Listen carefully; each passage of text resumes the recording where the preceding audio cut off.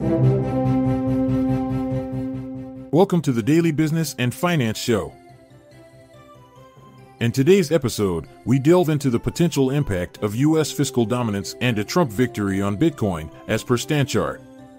We'll also discuss Trump's billion dollar request from the oil industry with promises to dismantle Biden's energy policies.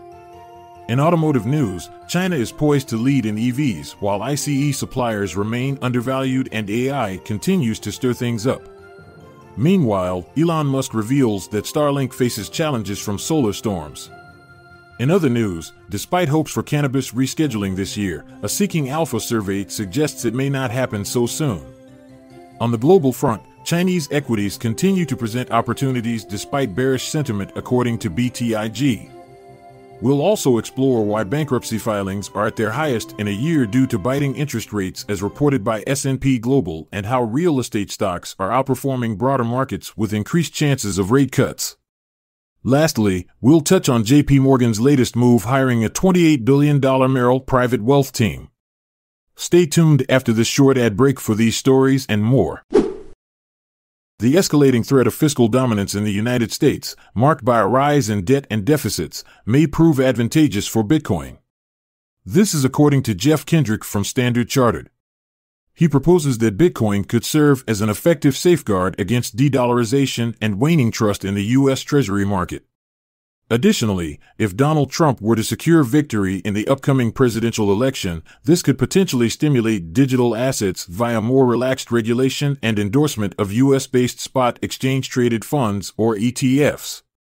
Kendrick continues to uphold his price predictions for Bitcoin at $150,000 by the close of 2024 and $200,000 by the end of 2025. Reports suggest that the ex president, Mr. Trump, has asked for a campaign donation amounting to $1 billion from executives in the oil and gas industry. He has pledged to roll back several environmental regulations put in place by the Biden administration if he returns to power. This would involve lifting the current halt on new approvals for exporting liquefied natural gas and undoing drilling limitations in the Arctic region of Alaska. In related news, new EPA rules regarding power plant emissions are being contested in court by 27 states led by Republicans. Morgan Stanley has put forth the idea that Western automobile companies, Tesla included, are acknowledging China's supremacy in the electric vehicle, or EV, market. Financial pressures are causing firms like General Motors and Ford to reduce their ambitions in the EV sector. This is likely to result in a shift towards less capital expenditure and more collaboration with China.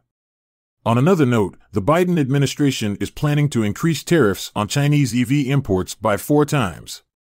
Despite these hurdles, there's potential for artificial intelligence to enhance efficiency within auto manufacturing.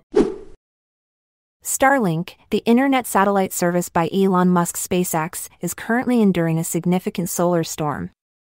This storm is the most potent one since 2003. Despite experiencing disruptions and stress on its satellites, Starlink continues to maintain its service. The U.S. National Oceanic and Atmospheric Administration has issued a warning about potential risks the solar storm could pose to navigation systems and power grids. Reports from late April hinted at the possibility of the Drug Enforcement Administration, or DEA, reclassifying marijuana from a Schedule 1 to a Schedule 3 controlled substance. However, according to a survey conducted by Seeking Alpha, 63% of participants do not believe this change will occur before the end of the year. If rescheduling were to happen, it could provide tax benefits for operators across multiple states and promote cannabis research. Yet, this process necessitates review by the White House Office of Management and Budget as well as a public comment period, which could potentially delay its execution. Jonathan Krinsky from BTIG proposes that Chinese equities might be a contrarian investment in spite of the prevailing negative sentiment. The Hang Seng Index has seen an increase of 7.47% this year, which is slightly less than the S&P 500's rise of 8.55%.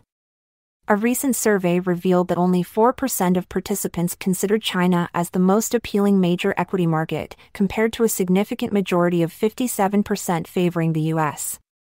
However, considering the high volume breakout in Chinese equities and policies favoring small and medium businesses, Scott Rubner from Goldman Sachs is convinced that the rally in China is authentic. In April, filings for corporate bankruptcy in the United States reached a peak not seen in a year, with 66 new cases reported. This data comes from S&P Global Market Intelligence. Companies are feeling the strain due to high interest rates, especially those within the consumer discretionary sector. Three companies, Express, Number Holdings, and ConvergeOne Holdings, have each filed for bankruptcy protection with liabilities exceeding $1 billion. Despite inflation surpassing the target of 2%, there has been no reduction in interest rates by the Federal Reserve. For the second week in a row, real estate stocks have outperformed the broader market due to increased chances of a rate cut in 2024. The real estate select sector SPDR ETF has seen an increase of 2.13%. Similarly, both the Dow Jones Equity All REIT Total Return Index and FTSE Nareit All Equity REITs have also experienced gains.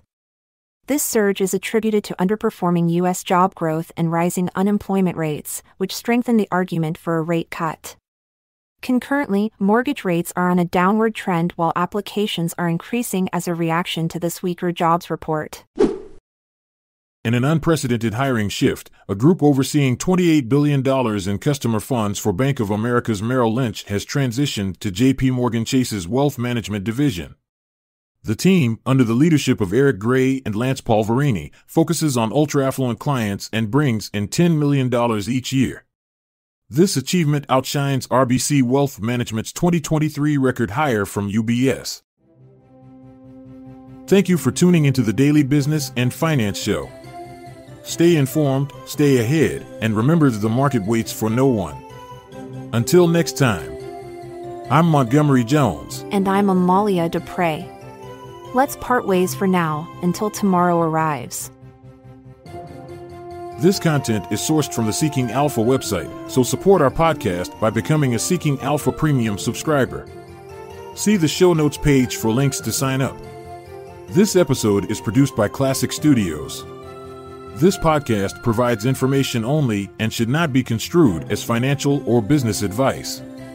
Check out our other podcasts in our network at klassicstudios.com.